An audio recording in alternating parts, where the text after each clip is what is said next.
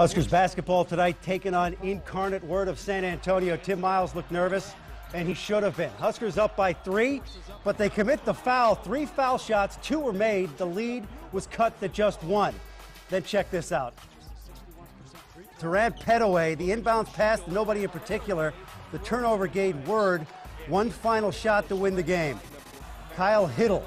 He's going to take Shavon Shields baseline. Oh no. They have the one point lead, but the Huskers will get one more shot. Durant Petaway from midcourt. No good. Unbelievable. Incarnate Word beats Nebraska tonight 74 73.